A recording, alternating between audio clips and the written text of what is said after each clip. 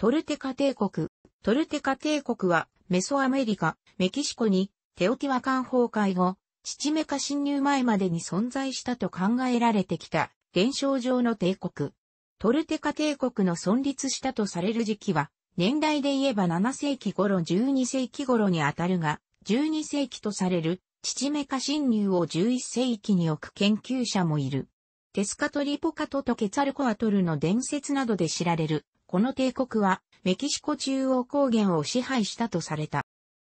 トルテカにまつわる伝承の多くに現れるトゥランあるいはトゥーラがこれらの語が都市を表す普通名詞でもあるにもかかわらず、具体的なトゥーラ遺跡の一つであるトゥーシココティトラン、イダルゴ州、トゥーラ。以下、便宜上単にトゥーラと印を指すと考え、その実在を主張する説は研究者の間でも長く後を絶たなかった。その大きな原因を作ったのはメキシコの歴史家として知られるウィグベルト・ヒメネス・モレーノであった。ヒメネス・モレーノは、文献記述中の様々な部族の移動ルートを検証し、地理的な記述、王朝の系図を歴関連の記述、ケツァルコアトルに関する伝承を突合し、イダルゴ州トゥーラが伝承上のトゥーラであることを突き止めたが、他の成果については、口実するように複雑な資料操作による矛盾を指摘する研究者もいる。そのような考え方は、ヒメネス・モレーの説に沿って、伝承を解釈する記述で、1960年代の欧米の研究者の著作に見られる。例えば、ユーリー・クノーロゾフのマヤ文字解読の成果をアメリカでち早く認めるなど、国際的にも大一人者とされるマイケル・コーが1962年に表したメックスコに典型的に見ることができる。トルテカ帝国は、かっては、メキシコ西部のウトアステカ語族に属する反、文明化したチチメカである、トルテカチチメカ族と、ノノアルカと呼ばれる、プエブラ州及び、メキシコ湾岸に住む彫刻や建築を良くする、職人的な人々よって築かれたとする。中心的なのは、トルテカチチメカであった、とする、高1975、P162、ヒメネス・モレーノ説の図式を続けると、トルテカが繁栄したのは10世紀から12世紀半ばであるとしている。ミシコアトル、雲の蛇、すなわち、天の川という伝説的指導者に率いられ、西シエラマドレ山脈の南部からハリスコ州北部、サカテカス州南部を通過して中央高原に入った。それからクールワガンの地にトルテカの人々が住むようになったとする。ミシコアトルの子が、一の足の年、紀元935年もしくは947年に誕生したとされるセアカトルトピルツインであり、成人になった時、ケツァルコアトルと名乗ったという。伝説上の羽毛の蛇ケツァルコアトルが身としばしば同一視されるため文献批判を行う際に研究者を悩ませている。セアカトルトピルツインは黒い髭を生やし、肌は白く、髪が長かったとされる。セアカトルトピルツインは、首都をクールワカンからトゥランシンゴ、トゥーラに遷とした。セアカトルトピルツインは、自らの身を土下で刺すなどをはじめとして様々な宗教的な苦行を行い、ケツァル鳥の羽の針や翡翠でできた刺しを作り、儀式の際に卓行に、翡翠、トルコ石、赤い貝殻を燃やしたという。人身国を好まず、鳥や蛇及び蝶のみを生贄として捧げるなどの神官王として行動の見本を求めた。トゥーラの法を定めた。とされるほどの名声を得た。しかし、それは彼に飽き足らないテスカトリポカを信奉する好戦的な戦士集団との権力構想のもととな。ケツァルコアトル、おそらくセアカトルトピルツインがトルテカの王であるとき、それを苦々しく考えたテスカトリポ科学モに変身し王宮へ行きプルケシュをケツァルコアトルに進めた、とする。ケツァルコアトルはプルケシュに溺れるようになって、心がすさむようになった。そのため、災いがケツァルコアトルに降りかかり、首都であるアナワクを去らなければならなくった。または、テスカトリポカは、ふんどしをつけずに、緑のチレを売る商人に分けて、ケツァルコアトルの娘を誘惑して、婿入りを認めざるを得なくさせたり、小人と背骨が曲がって前かがみになった人々のような身体障害を持つ人々を率いる戦士として、ケツァルコアトルの味方につき、ケツァルコアトルが敵に倒されるようにしたり、トルテカの人々に操り、人形を見せて、好奇心から集まってきたところを皆殺しにしようと、するなど、あの手この手で工作したという。トルテカの人々は、テスカトリポカを石打ちにして、殺すことができても、その遺体が腐ることによる被害から逃れることができなかったとされる。ケツァルコアトルは正気に戻り、敵の手にとをおめおめと渡すまいと宮殿を焼き払い、宝物を隠してしまった。アステカの神官たちはケツァルコアトルを引き止め、宝物の所在を聞き出そうとしたが、ガンとして聞かず、メキシコ湾岸まで来ると蛇のイカダに乗って、火が昇る方向、東へ去ってった。このケツァルコアトルがマヤでユーククルカンであり、987年にマヤの地を征服したとされ、ユカタン半島の各地にメキシコ中高高原の勢力の侵入を伺わせる、ナワゴ地名の分布や地区様式、チチェンイッツァーの戦士の神殿の壁画などをはじめとする考古資料にも見られる。セアカトルとピルツインがトゥーラを去った年代としては、クアウティトラン年代記などの記述から、誕生から52年のサイクルが一巡した一の足の年である紀元895年であるとする。一方、大井の紹介するヒメネス・モレーの説による年代は紀元987年である。また別の伝承によると、トルテ家族は、ウェイマツイン、偉大なる手と称される神官に率いられて、トゥランの地に訪れると、基地なる土地であるということで、6年間かけて、都市が築いたという。トゥランの地は、鳥や獣が多く生息し、肥沃な土地で、果実がよく実ったので、果実の土地と呼ばれるようになった。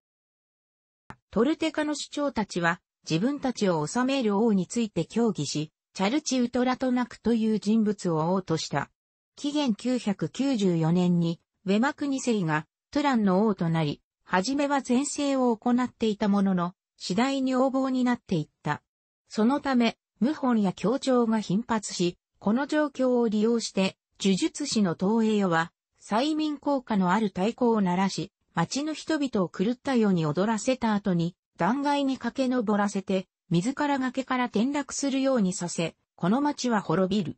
というや、稲や、トゥランの町を囲む山々が、激しく、一斉に噴火するという出来事が起こった、という。トゥランの長老たちは、神々が起こっているので、許していただくために生贄を捧げなければならないと、戦争で捕まえた捕虜を生贄にしようとした。しかし、生贄にした捕虜の若者からは、心臓のみならず血の一滴も出ず、かえって、その生贄が腐って、町中に疫病が蔓延し、街中の人々が次々に死んでいった、という。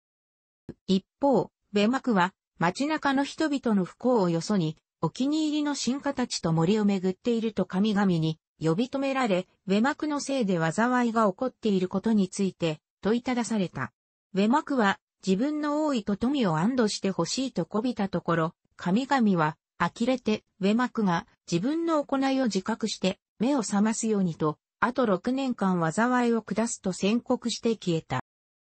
その後、冬には厳しい寒さによって激しい霜が降り、夏には激しい日照りで川が干上がり、草木は枯れて育たず、人々は飢饉に加えて、冬は寒さ、夏は暑さにもだえ苦しんだ。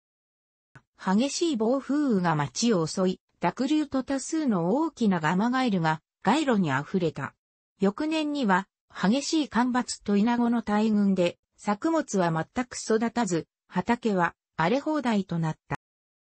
その後には氷と激しい雷雨が降り注いだ。それは世界や大地といったものが叩き壊されるほど凄まじいものであった。これらの激しい災いのため、トゥランの町の9割の人々が死んでしまうほどであった。ウェマクはさすがに単位する決心をし、身分の低い承服の子であるアクシトルに王位を継がせると主張した。人々はアクシトルの血筋のことで激しく反対し、ウェマクが譲らなかったので、二人の指導者を立てて反乱を起こそうとしたが、ウェマクがその二人に密使を送って、望みのままに報奨をやると伝えて、本人を促したのが功を奏したので、反乱は沙汰やみになった。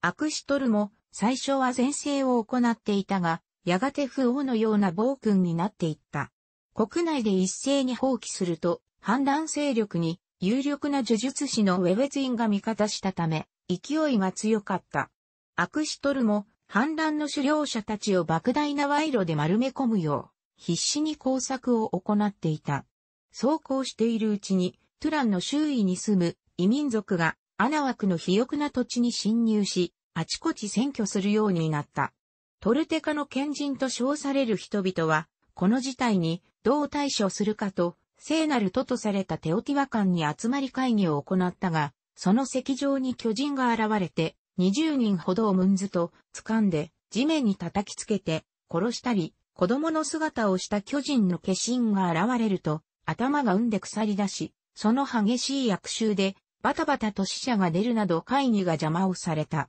そのようなことが繰り返され、挙句の果てにその巨人は、神々は、お前たちを見限ってるから、何をしても無駄だ、と宣告した。トルテカの有力者たちは家族を引き連れて国から立ち去っていった。または、ウェマクは、干ばつに伴って、トルテカ父メカとノノアルカの構想が起こり、ウェマクは、1156年もしくは1168年に、チャプルテペック、メキシコシティ西部に遷都し、そこで自殺したとされる。トゥーラにわずかに残った人々も、メキシコ中央高原南部のメキシコ盆地、プエブラ盆地を通過する過程で、その地域を征服し、チョルーラへ移ったとする。大井国明は、ヒメネス・モレーノ説の図式として、ミシコアトルの時に、セアカトル・トピルツインの時に、と紹介している。大井は、トルテカ帝国について、ヒメネス・モレーノが文献の年代がすべて間違っていて改ざんされており、異なった都市の異なった人物の歴史とされているのは、特定の一都市の特定の一人物の記述であるという前提で資料捜査を行っているとし、文献の年代は基本的に正しく、改ざんは記述内容のみにとどまるとした。具体的には、トルテカチチメ家族による歴史書、トルテカ父メカ市でトゥーラに到着したのは1064年という記述がある一方で、クワウティトラン年代記では同じ年にトルテカの時代が終焉したという記述があること、父メ家族がトルテ家族を自称しているだけで、トゥーラを建設したとは述べていないこと、同じように父メ家族はテオテナン語という都市を征服後、テオテナンカと名乗っていることなどを挙げている。しかし、この大異説はメソアメリカ史や考古学者を悩ましている父メカとヒメネス・モレーノの資料操作の矛盾や混乱をすっきり解決できるという大いの主張にもかかわらず、欧米を中心とする主流派研究者には全く受け入れられていない。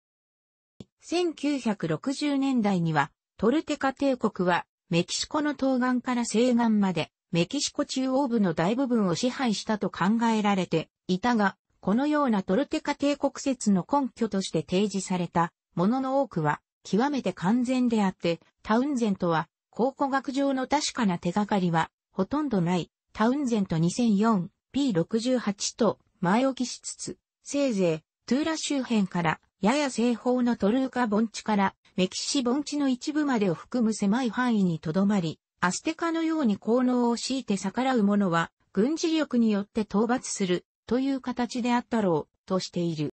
トルテカ帝国が実在した根拠として、トゥーラの北方 450km に位置するサカテカス州のラケマーダが、米国南西部で得られるトルコ石の交易路を守るためのトルテカ帝国のサイト、想定されていたが、近年のベン・ネルソンの調査によって、古典気候期にあたる650年から750年の遺跡であることが判明し、トゥーラの全盛期である、トゥラン期の950年頃1150年頃と大幅にずれることが明らかになった。また、鉛ユード期の装飾にトラロック神など、トゥーラの宗教シンボルとの類似が見られることから、グアテマラ太平洋岸がトゥーラによって征服され、これらの土器がもたらされたという説もあったが、単に生産地のソコヌスコ地方の土器製作者が自発的に市場の好みに合わせて生産したもが、メソアメリカ各地に流通しているという考え方が、現在では自然に受け入れられている。楽しくご覧になりましたら、購読と良いです。クリックしてください。